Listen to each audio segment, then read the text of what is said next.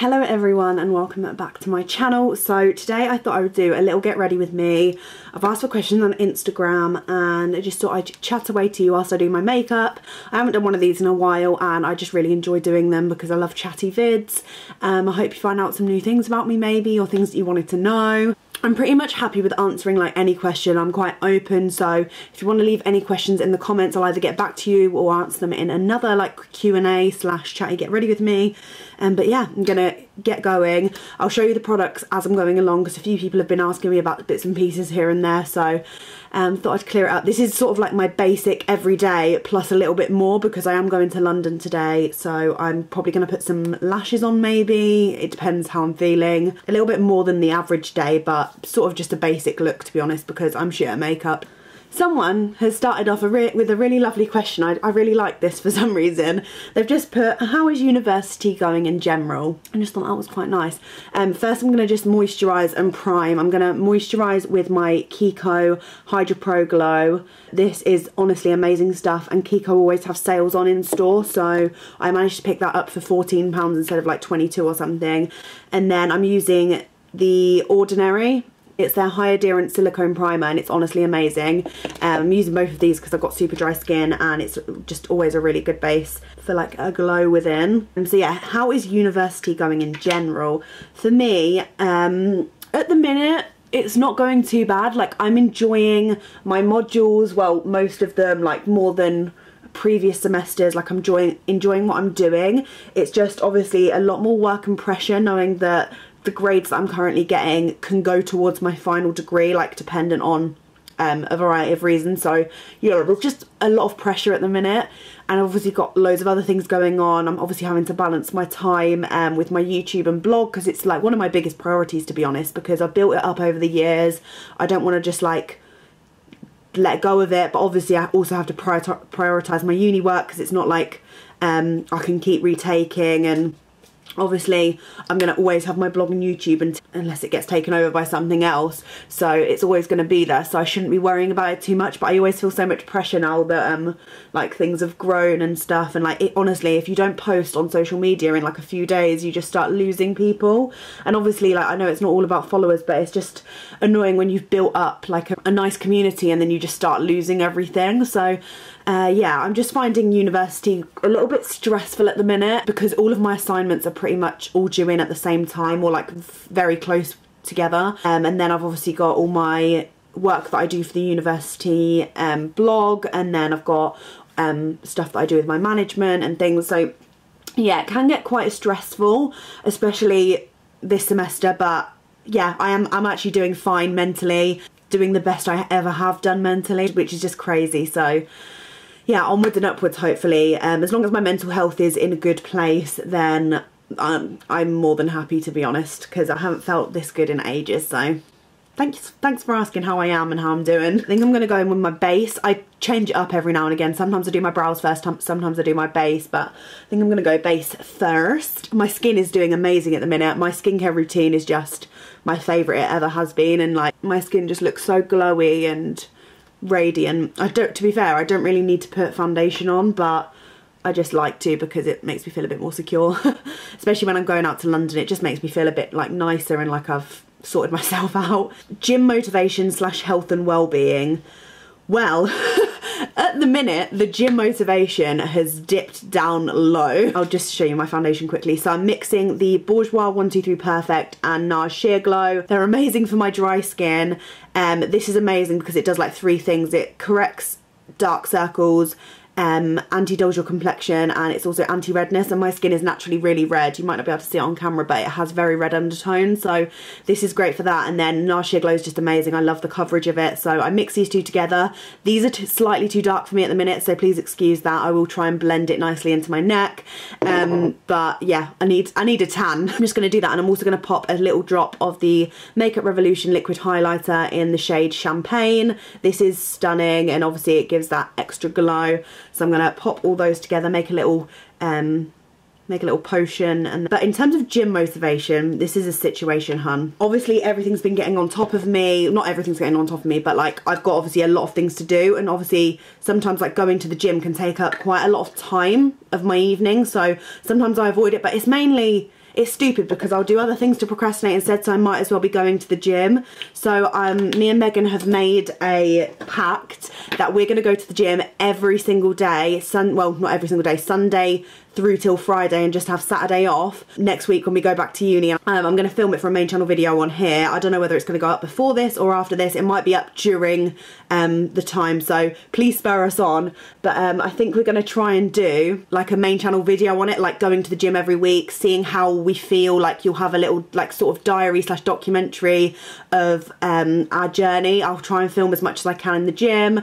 Um, we're going to see if it like makes us feel more energized. We're going to see if we push ourselves and stuff like that. Obviously, we're not going to kill ourselves from it. Like, we're not going to go too overboard, but we're literally going to be like cardio one day, legs one day, arms next day, abs next day, cardio, and like just keep repeating it like that. And we're going to document the whole thing in a week style main channel video. So, fingers crossed that all goes well. Um, we are going to force ourselves to go. Like, even if it's like after a long day of uni, we're going to just do it.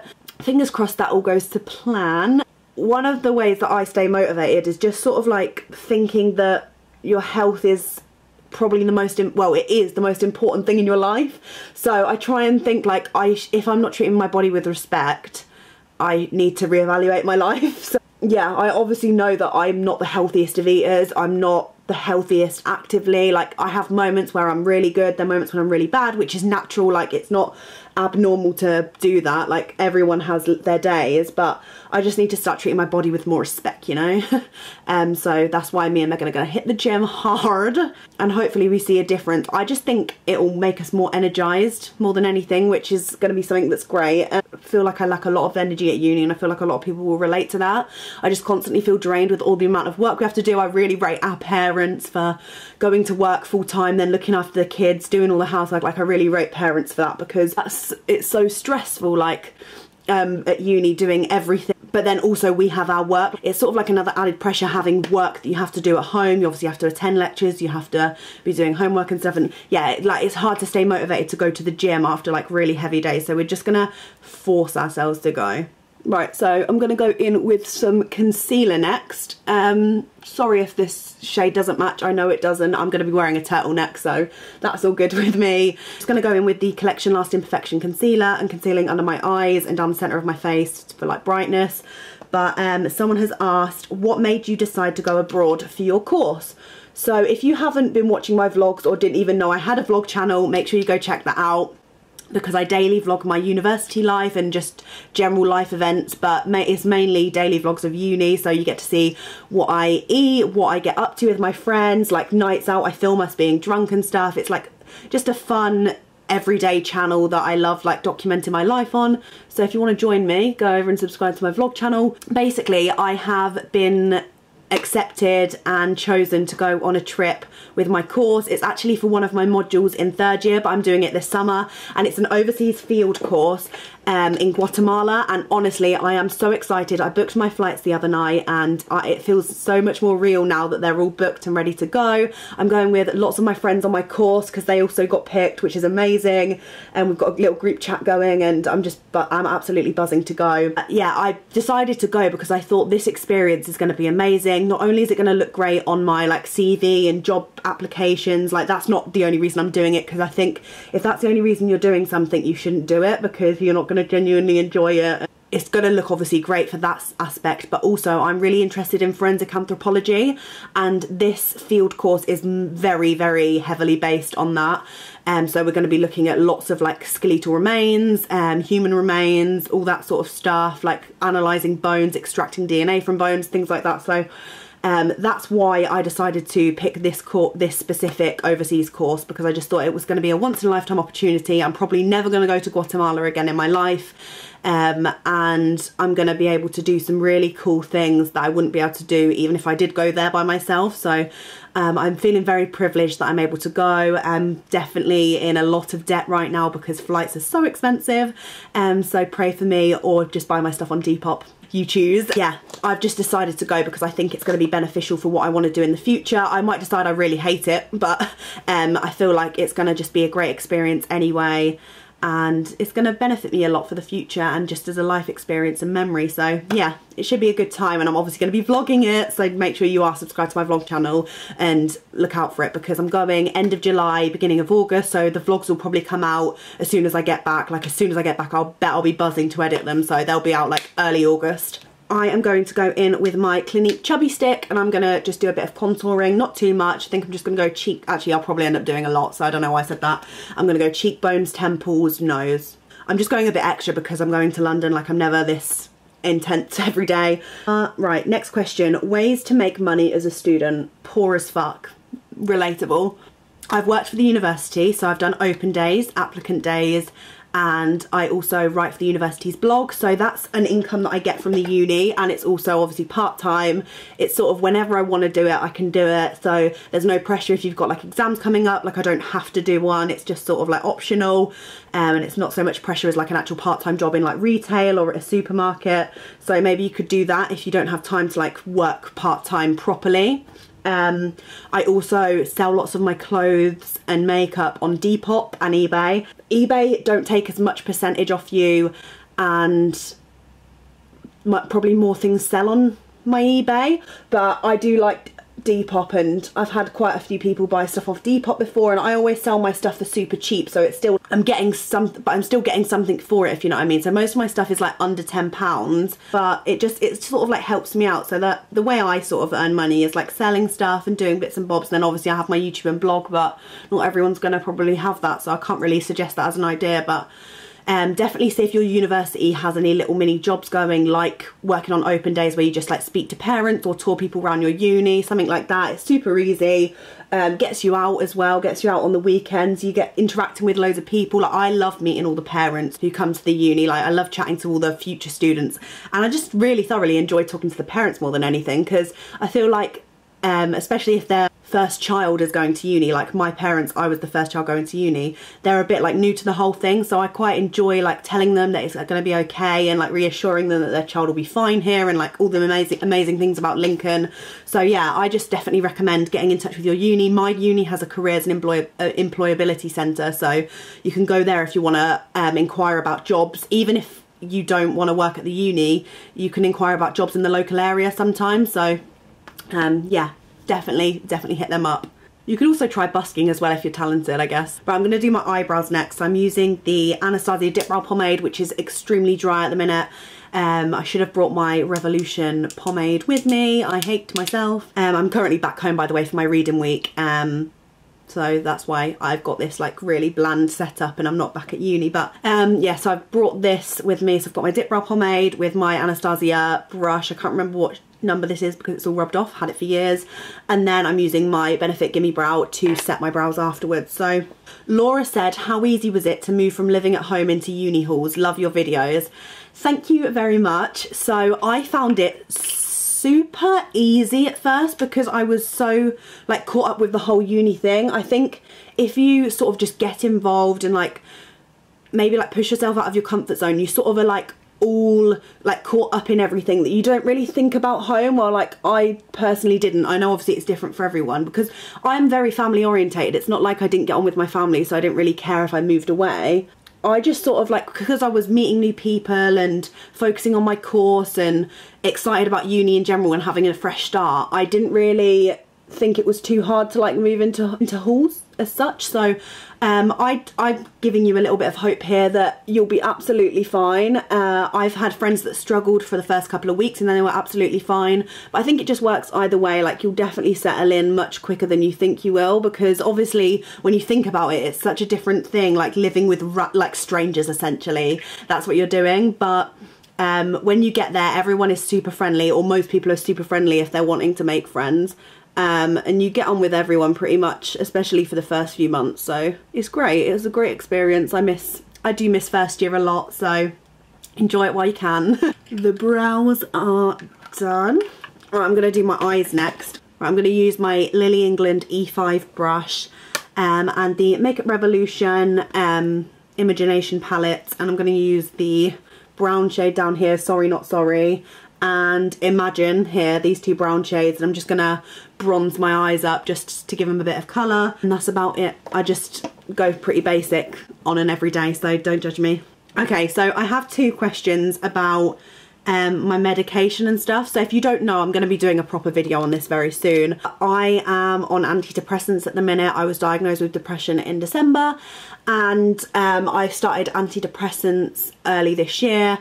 Um, they have been an absolute lifesaver for me so that's why I'm going to be doing a video. I'm going to do a Taboo Tuesdays about like being on antidepressants at a young age. Yeah, I'm going to talk about that a lot more in detail, but these questions are advice on seeking help for mental health. I'm nervous about ringing the doctors and how was your experience going to the doctors regarding anxiety medication? So, I have had a lot of trouble over the years but persistence is honestly key when it comes to this sort of thing.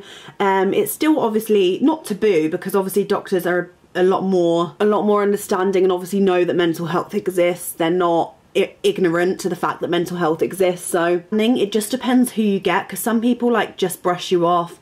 Some doctors give you all these other different things to try and bits and pieces but because I was persistent and just kept going and being like this hasn't worked for me. I've done this and this hasn't worked um, I ended up finally getting the result that I needed. I did try other things. I wasn't like forcing myself. I wasn't like, I need medication. That's all I'm here for. I just tried all these things and they weren't working. So I just kept going back and being like, this isn't working. What do I do next? And then obviously now that I've got medication, I found that that is the best thing for me. Like I've never felt happier in my entire life. Like I feel like I don't remember ever being this happy and not as anxious. So it has helped with my anxiety as well. Like I did have anxiety as well as depression.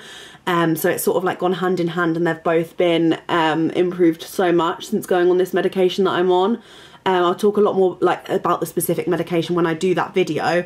But in terms of like pushing yourself to ring the doctors, I just, it was so hard. Like when I was in a dark place, I couldn't physically ring the doctors like I was too scared I just couldn't do it but whenever I had like one good day out of like 20 I would just be like right this is the day I sort my health out um, I can't be living like this for any longer like I just pushed myself to do it. And sometimes I don't really like ringing people so I would just go into the doctor's person to person and speak to the receptionist because I don't know I prefer like real life interactions than over the phone. So yeah I just after when I had a good day I was just like fuck it I'm ringing it. Health is the most important thing in the world mental and physical health.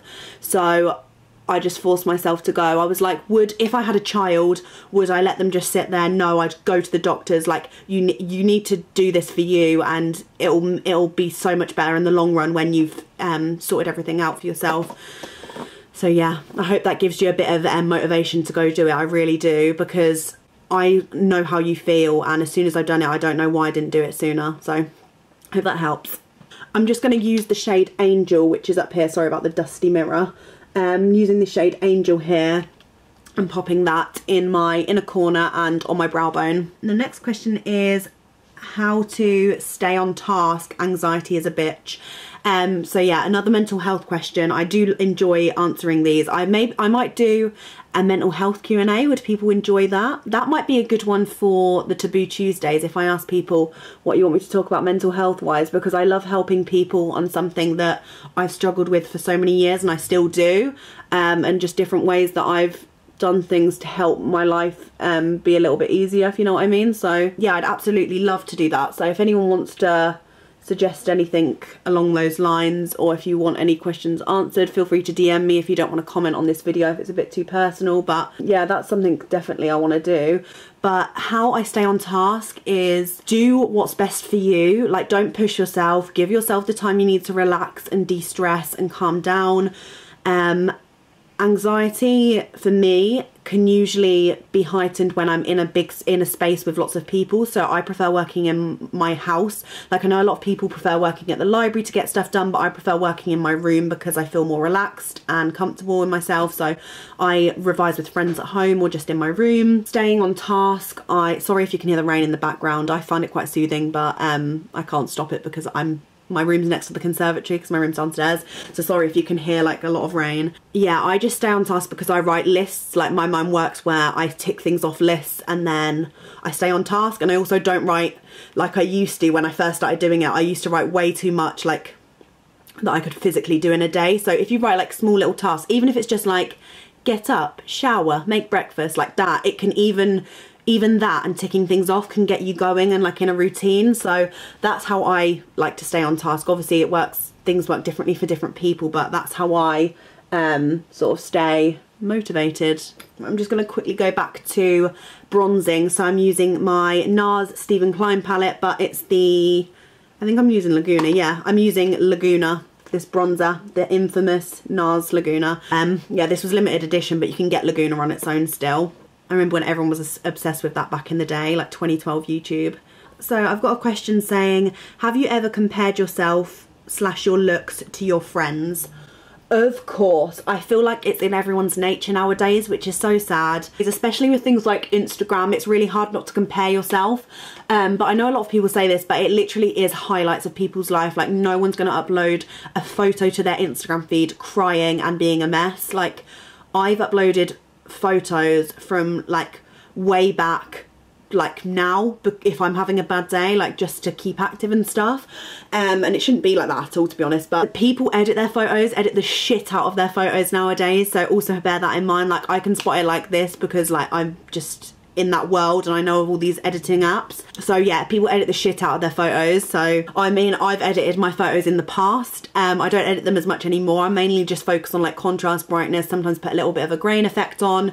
But um, yeah, people edit the shit out of their photos. It's the highlights of their life. So try not to compare yourself that way, like to their looks, because they could literally have blurred their face. They could have edited their body. And also it's the highlights, like they could be having the worst time of their life and they're just uploading this photo and you think that they're living a dream and you could be having a way better um, life mentally. You could have the family that you have. Like do you know what I mean? There's so many things that could go on. It's just not it's sort of like YouTube like people assume that I'm happy all the time or positive or whatever but I have times where I'm like off the camera like crying my eyes out. Like I don't know. I just think like we all compare ourselves too much and I know it's hard not to because of all this media and stuff but um, ways that I stop that from happening. I've just sort of learned as I've grown up to just take a step back when I'm feeling low about my body, about my confidence and stuff like that. Just take a step back and be like, right, one, my body is amazing. It is keeping me alive every day. My organs are working sufficiently. I haven't got any problems with me right now. I should just be enjoying the moment and not be focusing on what I look like because that's not who I am. And I think that's something really important and something we should definitely do a lot more like just sit back and be like why am I comparing myself to someone I don't even know? Like we sometimes we compare ourselves to celebrities like we don't even know them. Like I've, I've got to a point in my life where I'm accepting myself a lot more and um yeah it's it's feeling a lot I'm feeling a lot better now that I'm doing that because I think life's too short to be like worrying all the time about what other people think of us. It's just not great. And yeah, just do things for you. If you aren't comfortable with your body, then go to the gym, work out, eat healthier, look after your body, respect it. Um, and then you'll get the results that you want like but don't do it because you want to look like someone else do it because you want to feel better in your body and um, you feel like you're going to be confident that way so yeah that's my advice on that one my friend amy on youtube i'll leave her down below she's very talk about me because I'm amazing. True. what brand slash company have you dreamed of working with? Um, right, I'm going to use my Benefit Pretty in the USA palette. I think, is it a highlighting palette? No, it's just a, um, it's a cheek palette which is stunning. I got this sent to me um, for Christmas by Benefit, which is amazing. And I'm using this Dandelion Twinkle shade. I went to Benefit to get my brows done and they used my use this to set my entire face and it looked amazing. But I'm just literally going to use it for highlight because I feel like I've gone a bit overboard already today, considering I'm just going out for a normal day. But yeah, so what brand and company have I dreamed of working with? I'm also using my Urban Decay setting spray to wet my highlighting brush a little bit. This is from Bobel Brushes in case anyone's wondering. It's amazing. So what brand or company would I love to work? I think I'd love to work with Cadbury's, you know? Like I feel like that's a bit of me. I'm like a massive cho chocolate person so uh, working with Cadbury's would be an absolute dream. Um, that's if we're talking about food companies. Makeup companies, I'd absolutely love to work with Kiko. Kiko would be a massive one that I'd really enjoy working with. And then clothing wise, I'd absolutely adore to work with like Missguided or Pretty Little Thing just because I've supported them a lot over the years. Like I love wearing their clothes and stuff. I don't know, I think that's something that I would absolutely love. But yeah, Cadbury's would be an absolute dream. Right, mascara next. This is the Rimmel Wonderluxe Volume. This is amazing. Like, I have no eyelashes and this makes me have eyelashes. Um, and it's also super affordable because obviously you can get it at the drugstore. What is your favourite childhood cake, biscuit slash sweet? Oh God, oh God. Cake, Colin the Caterpillar from M&S. That was a classic childhood favourite, especially if you're from the UK. I think it's only in the UK anyway. Um, that was like everyone's birthday cake back in like 2006 or something. Um, everyone would have Colin the Caterpillar, maybe even younger than that actually, like 2004. Everyone would have that cake for their birthday and it would be iconic and uh, it would taste stunning. Like it's actually a classic. Like I kind of want it for my 21st birthday. Honestly tastes so good. Unreal. My favourite biscuit as a child, the Bourbons, Bourbon, Bourbon, I don't know how you say it. Like I'm I'm scared people always come for me about how I pronounce things. But I mean, we're all from different parts of the country, you know, give me a break. yeah, I think that even though they're just like a boring classic chocolate chocolate biscuit, they're just my faves. Um, and then favourite sweet as a child, I don't know.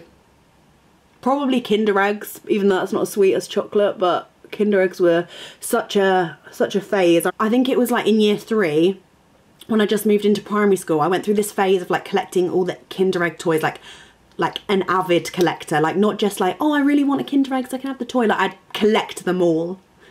like I'd actually be a fangirl of Kinder Eggs, like genuinely. So yeah, that was a fun time. So yeah, Kinder Eggs probably. What field of forensics do you want to go into after your degree, job or masters? So every now and again I think about a master's. I'm really not sure what I want to do yet. I think I'll probably decide more when I'm in third year and I'm doing stuff that's a bit more specific because obviously in first year I did quite a lot of basics like the basics of biology and chemistry to obviously get me to understand all that stuff before we went into the intense things. I've started doing stuff to do with like CSI, forensic anthropology, trace evidence, human identification, but um, next year we're doing stuff like toxicology, fire, explosions, um, nuclear forensics, things like that. So I think I'll find out what I want to do properly next year. But currently right now I'd love to go into CSI at some point and I'd love to go into forensic anthropology at some point. But it could completely all it could all completely change. I might do a master's, I might not. I might go I won't go straight into a job though. That's what I do know for sure. I know that I'm going to definitely have a year out and I'm going to travel earn money. Just I'm just going to earn money at my jobs that I currently have when I'm at home in the summer. I'm going to work like that for a year I think and then I'm going to either go traveling or go into a job after that. I don't know. I just want to go traveling I think before I properly settle down. I don't want to have I've spoken about this before but I don't want to have a one job for the rest of my life like that's like my worst nightmare. Um so yeah I'm just going to work really super hard and, and just get money to travel so that I can experience life for lipstick, I am going to be using the Kiko Milano Velvet Passion Matte Lipstick in the shade 302. Absolutely love this. So Leah has asked, what your top three holiday destinations that you want to visit and why? Right, so I'd say Thailand's always been at the top of my list. Like, I'd adore to go to Thailand. I just never have been to Asia before. I like the look of the whole vibe and culture and atmosphere there, like from obviously photos and watching videos. Like, I'm literally obsessed with watching like Thailand vlogs and Bali vlogs. Um, so probably Thailand, Bali and Indonesia is somewhere else I'd love to go. Canada, Canada 100% I just really want to travel to Canada. I don't know Canada really just intrigues me. So I think I'd say Canada Thailand and I'd probably say I want to go to Amsterdam so the Netherlands. Um, me Megan and Hattie are thinking about going to Amsterdam at some point so hopefully that materializes because the vlogs would be so sick. Um, but yeah I've never been to Amsterdam before and I'd love to go and yeah, last question is best online clothing shops for going clubbing out slash out on a uni budget. This guy did Boohoo, Pretty Little Thing, I saw it first. Femme Luxe. I've worked with Femme Luxe before, but honestly, they have such affordable clothing and all of their like dresses go get reduced and put in sale so quickly. Everything's pretty much under £20 already on the website. So Femme Luxe definitely, I definitely recommend try testing them out. Those are my favourite shopping places for uni clubbing outfits. I really hope you've enjoyed this little get ready with me. Make sure to hit the thumbs up if you did enjoy. Let me know if you want me to do these a little bit more often because I do love having a bit of a sit down chat, going through my makeup and answering all your burning questions. Next time make them juicy if you want to, like if you want to know anything private I'm happy to share it. Like I just want people to feel comfortable in themselves and like what they're doing and stuff. So yeah, make sure to hit me up, ask me some questions, DMs or comment. Hit thumbs up if you enjoyed, subscribe down below if you're new. Make sure you go check my vlogging channel out and I will see you in my next video. Bye.